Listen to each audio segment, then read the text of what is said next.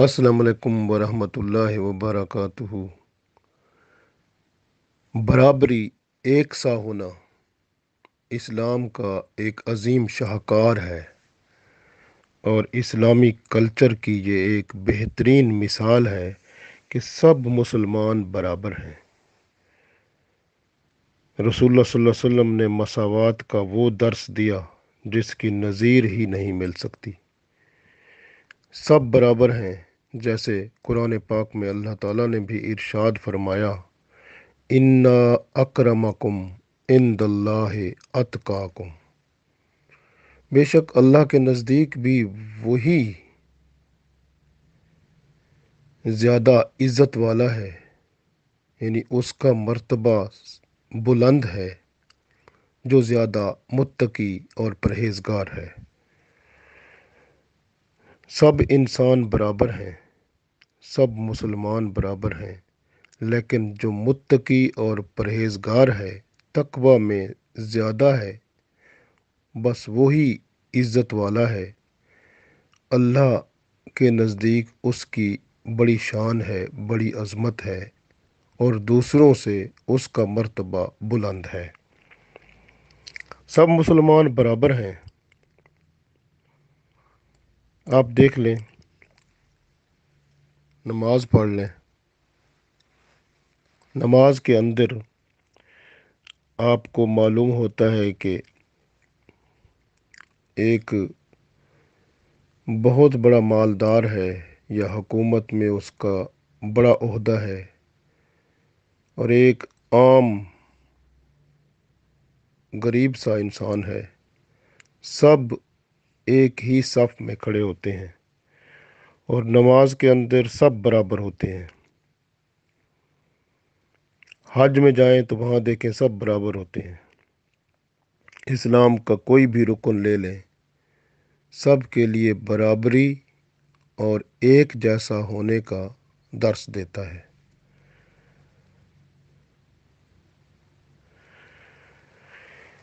اسی لیے تو علامہ اقبال نے فرمایا تھا، آ گیا عین لڑائی میں اگر وقت نماز، قبلہ روح ہو کے زمیں بوس ہوئی قوم حجاز۔ ایک ہی صف میں کھڑے ہو گئے، محمود و ایاز۔ نہ کوئی بندہ رہا اور نہ کوئی بندہ نواز۔ بندہ و صاحب و محتاج و غنی ایک ہوئے۔ تیری سرکار میں پہنچے تو سبھی ایک ہوئے۔ تو گویا اللہ کے حضور جب بندہ پہنچتا ہے تو سبھی ایک ہوتے ہیں۔ مساوات کی کتنی حسین مثال ہے، لیکن اس کو اگر زندگی میں رائج کیا جائے یعنی مکمل طور پر مساوات اور برابری کی تعلیم جو اسلام ہمیں دیتا ہے، اگر یہ مکمل طور پر نظر آئے معاشرے میں تو سب قابل عزت ہوں۔ مسلمان، آج کا مسلمان، جو غریب مسلمان ہے، امیر اس کی قدر نہیں کرتا۔ جبکہ آپ مغرب میں دیکھ لیں، جہاں ہم یہاں یورپ میں رہتے ہیں، یہاں لندن میں ایک جھاڑو دینے والا ہے اور ایک بہت بڑا امیر جو کار پہ ہے، سب برابر ہے یہاں پر وہ ہر بندے کی عزت ہے۔ ایسا کیوں ہے؟ یہ ہمارا کام تھا۔ ہم نے ایک اس بندے کو جو غریب ہے، جس کے پاس اللہ تعالیٰ نے تھوڑا عطا کیا ہے۔ وہ تو سب سے اچھا ہے، کیونکہ وہ جب اللہ کے حضور پیش ہوگا تو اس کو زیادہ حساب کتاب ہی نہیں دینا پڑے گا۔ تو وہ تو بہت جلدی ہی جنت میں چلا جائے گا۔ لیکن مسائل تو دوسروں کے لیے ہوں گے۔ اس لیے آپ غور کریں، اسلام کا مساوات کا سبق اتنا اچھا ہے جو کہیں بھی نہیں ملتا۔ یورپ کو آج بھی دیکھ لیں، امریکہ کو دیکھ لیں، بلیک اینڈ وائٹ کا جو فرق ہے، وہ ابھی تک نمایاں ہے۔ جبکہ یہ ایکویلٹی اور ڈائیورسٹی کی بات کرتے ہیں۔ لیکن کاغذوں کے اندر ابھی بھی بلیک اینڈ وائٹ لکھا ہوتا ہے۔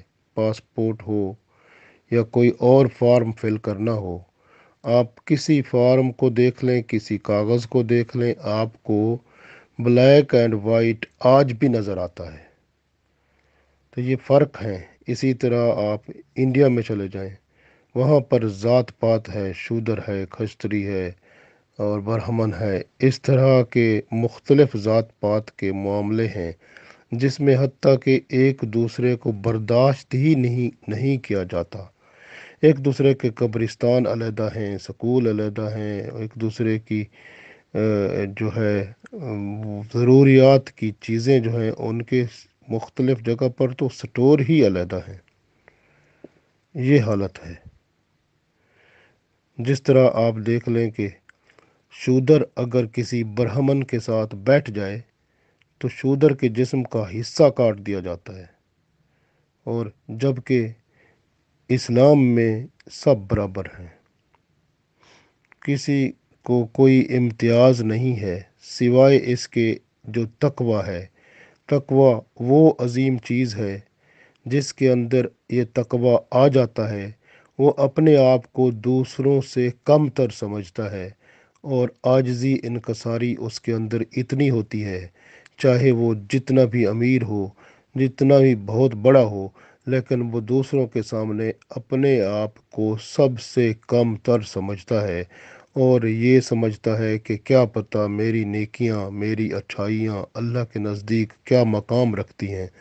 یہ اس کے اندر آتا ہے تو یہی چیز بندے کو تقوی اور اطاعت الہی پر اکساتی ہے اور اللہ کے حضور اس کو برتری دلاتی ہے۔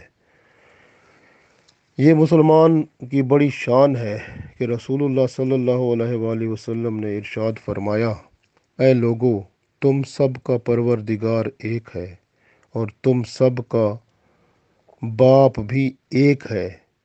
عربی کو اجمی پر اور اجمی کو عربی پر، کالے کو گورے پر اور گورے کو کالے پر۔ کوئی بڑھوتی نہیں ہے، سوائے تقوی کے، اور کسی بات میں کسی کو کوئی فضیلت نہیں ہے۔